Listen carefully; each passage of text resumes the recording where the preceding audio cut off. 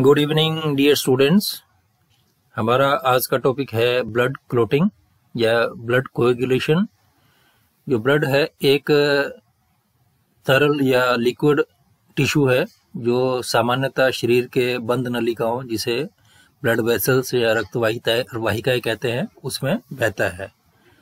परंतु रक्त का या ब्लड का एक स्पेसिफिक जो प्रॉपर्टी है, वो ये है कि ये नलिकाओं में जब तक बहता है तो ये लिक्विड फॉर्म में होता है। परंतु जब शरीर पर कोई चोट लगती है तो उस स्थान की जो ब्लड वेसल्स हैं, ये क्षतिग्रस्त हो जाते हैं। या टूट जाते हैं, जिससे कि रक्त बाहर निकलने लगता है। रक्त के बाहर निकलने के कुछ समय बाद, लगभग तीन से आठ मिनट तक, ये जो लिक्विड ब्लड है, ये सेमी सॉलिड जेली के रूप में कन्वर्ट हो जाता है, जिससे कि हमारा जो गाव लगा गाव होता है, वहाँ से ब्लड बहना बंद हो जाता है। जो ब्लड के इस प्रॉपर्टी को हम स्कंदन या थक्का, जमना या ब्लड क्लोटिंग कहते हैं। मनुष्य के रक्त का एक नमूना अगर लिया जाए तो ये तरल रक्त तीन से आठ मिनट एवरेज जो है छः मिनट में जेलिसमान पदार्थ में परिवर्तित हो जाता है। जो साथ में जो सीरम है, वो अलग हो जाता है। इस जेली समान पदार्थ को हम थक्का या क्लोट कहते हैं। कई बार हमारे को ऑपरेशन के लिए टाइम में ये इस प्रकार के टेस्ट करवाए जाते हैं जिसमें क्लोटिंग टाइम या ब्लीडिंग टाइम कैलकुलेट किया जाता है, ताकि कोई ऐसी सर्जरी में कोई ऐसी दिक्कत नहीं हो जाए कि अगर क्लोटिंग टाइम ज़्यादा है तो उस हिसाब से व्यवस्था कर ली जाए। सामान्य अवस्था में रक्त वाहिकाओं में रक्त का थपका नहीं बनता है शरीर के अंदर क्योंकि रक्त के अंदर हिपेरिन नामक एंटीकोगुलेंट पदार्थ पाया जाता है जो रक्त का थक्का नहीं बनने देता है हमारी बॉडी के अंदर। ये हिपेरिन का निर, जो निर्माण है ये यकृत में होता है और यकृत से ये ब्लड में रहता है। कभी कभी बिना चोट लगे के, के लगने के बाद भी सामान्य रक्त वाहिकाओं में रक्त का थक्का बन जाता है जिसे थ्रोम्बस कहते हैं। तथा इस प्रकार जो रक्त वाहिकाओं में रक्त का थक्का बनने की प्रक्रिया को थ्रोम्बोसिस कहते हैं। ये थ्रोम्बस रक्त का वाहिकाओं में बहकर एक स्थान से दूसरे स्थान तक जाता है। कभी कभी ये थक्का किसी रक्त वाहिनी में फंसकर उसके ब्लॉक कर देता है जिससे कि ब्लड का सर्कुलेशन रुक जाता है। ये मनुष्य के लिए लिथल या घातक हो सकता है। रक्त के जो स्कंदन या क्लोटिंग की प्रक्रिया को समझने के लिए कई थ्योरीज हैं। ये जो, जितनी भी थ्योरीज हैं, ये क्लोटिंग के जो फ़र्स्ट फोर स्टेप्स हैं, इस पे तो एग्री हैं। परंतु जो वास्तविक जो प्रोसेस है, उसके अंदर इनका कोई आपस में एक रूप नहीं है। जो मुख्य स्टेप्स हैं जिन पे सहमत है, वो है थ्रोम्बोप्लास्टिन का बन, निर्माण थ्रोम्बिन का निर्माण और फाइब्रिन का निर्माण। विभिन्न जैव तक, वैज्ञानिक तकनीकी अध्ययनों से स्पष्ट हो चुका है कि जो ब्लड क्लोटिंग की क्रिया है, ये इतनी सरल नहीं है जितनी दिखती है, परंतु ये एक चेन रिएक्शन ये श्रृंखलाबद्ध क्रिया है, जिसके कई कार का भाग लेते हैं। तो रक्त स्कंदन या ब्लड क्लोटिंग की जो प्रोसेस को समझने से पहले हमें विभिन्न जो फैक्टर्स ब्लड क्लोटिंग में भाग लेते हैं, उनको आवश्यक है पढ़ना।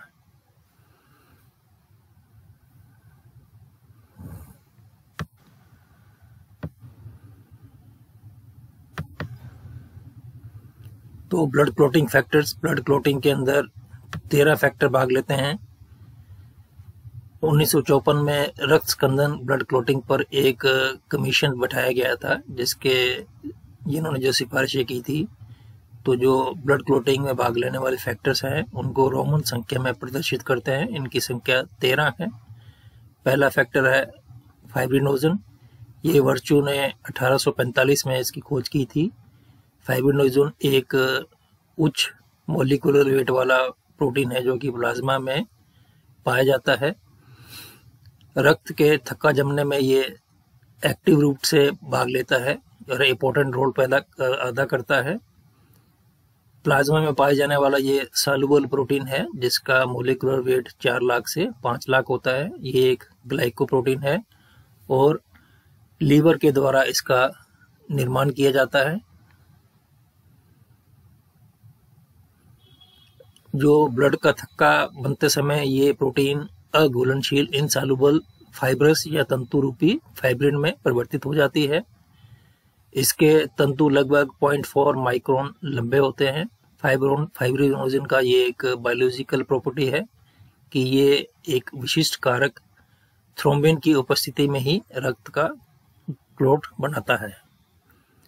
दूसरा फैक्टर है प्रोथ्रोम्बिन इस कारक की जो खोज थी वो श्मिट ने की थी सन 1863 में। ये एक ये भी एक ग्लाइकोप्रोटीन है जो कि लीवर में जिसका सिंथेसिस या निर्माण होता है। तथा ये ब्लड प्लाज्मा में रह, प्रेजेंट रहता है। इसके निर्माण के लिए विटामिन ए ज़रूरी होता है। प्रोथ्रोम्बिन का molecular weight sixty nine thousand होता है। प्रोथ्रोम्बिन प्लाज्मा में जो निष्क्रिय या इनएक्टिव रूप में पाया जाता है। परंतु ब्लड क्लोटिंग की प्रोसेस के समय ये थ्रोम्बोप्लास्टिन नामक प्रोथ्रोम्बिन एक्टिवेटर फैक्टर तथा कैल्शियम आयंस की प्रेजेंस में ये इनएक्टिव प्रोथ्रोम्बिन सक्रिय थ्रोम्बिन में बदल जाता है। थ्रोम्बिन का मोलिकुलर वेट 33,000 होता है। थर्ड कारक जो है या फैक्टर है थ्रोम्बोप्लास्टिन ये टिश्यू सेल्स और ब्लड प्लेटिलस या थ्रोम्बोसाइट्स कहते हैं जिसको में पाया जाने वाला एक लाइकोप्रोटीन है। ये टिश्यूज और थ्रोम्बोसाइट्स में निष्क्रिय अवस्था प्रोथ्रोम्बोप्लास्टिन के रूप में सिक्रीट होता है। ये इनएक्टिव प्रोथ्रोम्बोप्लास्टिन एक पावरफुल एक्टिवेटर प्रोकन्वर्टिन एंजाइम की प्रेजेंस में सक्रिय थ्रोम्बोप्लास्टिन में बदल जाता है।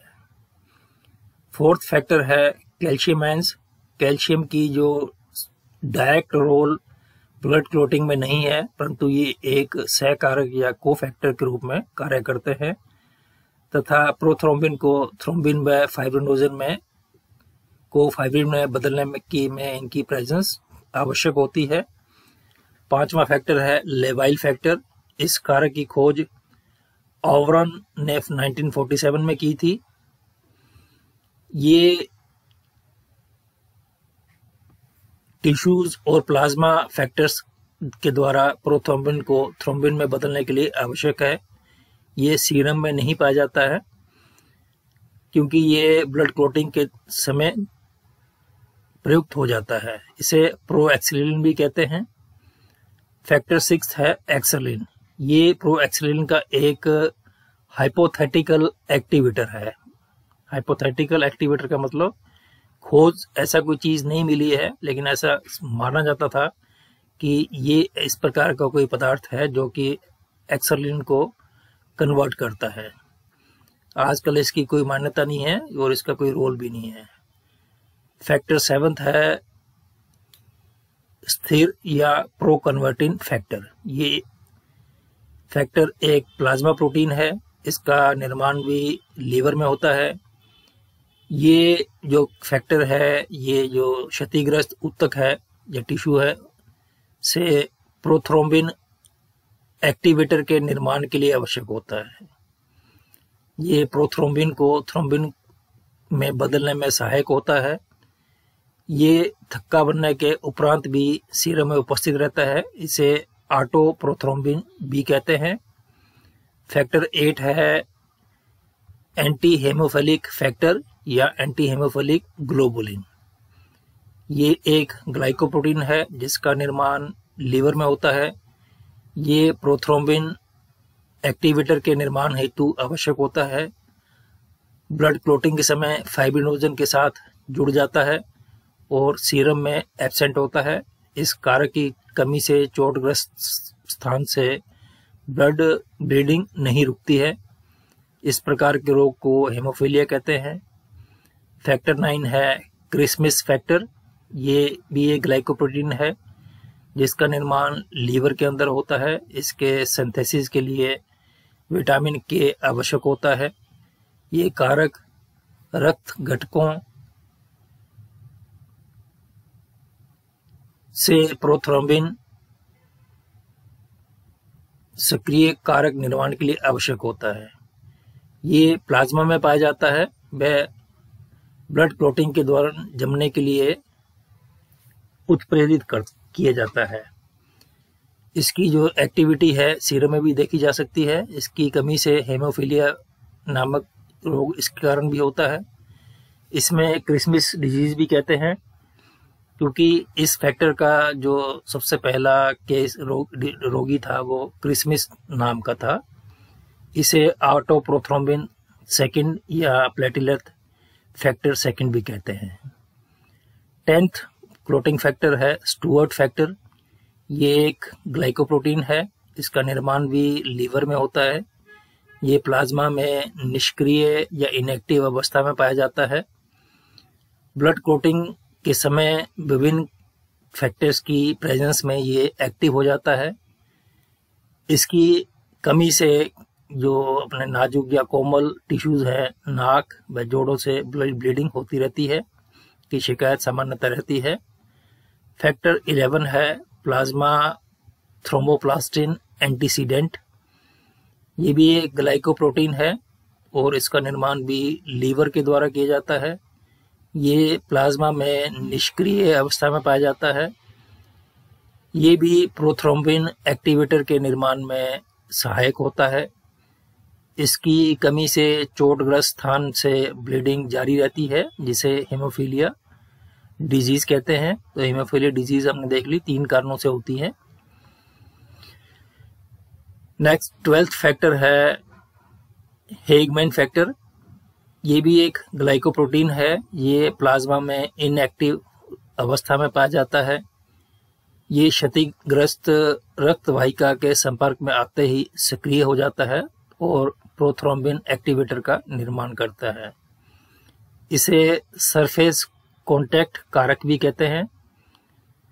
इस कारक की कमी से रक्त का थपका जमने में अधिक समय लगता है। जैसे आगे पढ़ेंगे कि सरफेस कॉन्टेक्ट में जो फ़र्स्ट फ़र्स्ट फ़र्स्ट है फैक्टर ये आता है, इसके बाद चेन रिएक्शन स्टार्ट होता है। लास्ट फैक्टर है फाइब्रिन स्टेबलाइजिंग फैक्टर ये एक ग्लाइकोप्रोटीन है और प्लाज्मा में पाया जाता है। रक्त ब्लड क्लोटिंग के समय ये कैल्शियम की प्रेजेंस में अधिक सक्रिय होकर जो फाइब्रिन को जो कि अघुलन घुलनशील होती है। अघुलनशील तंतु में अवस्था फाइब्रिन में कन्वर्ट कर देता है। इसकी कमी से ब्लीडिंग होती है। इसे लोकी लोरेंट फैक्टर भी कहते हैं।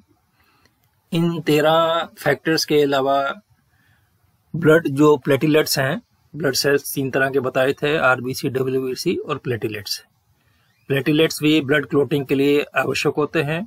ब्लड क्लोटिंग के दौरान ये खुरदरी सतह सरफेस रफ सरफेस या जो कि चोटिल स्थान पर होता है, वहाँ पर ये प्लेटिलेट्स चिपक जाते हैं और वहाँ पर एक गुच्छा बना लेते हैं और रक्त ब्लड क्लोटिंग के लिए आवश्यक फॉस्फोलिपिड लिपिड्स ये सिक्रीट करते हैं, जिससे कि ब्लड क्लोटिंग होती है।